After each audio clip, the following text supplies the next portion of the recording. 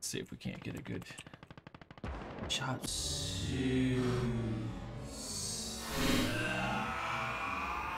Oh shit!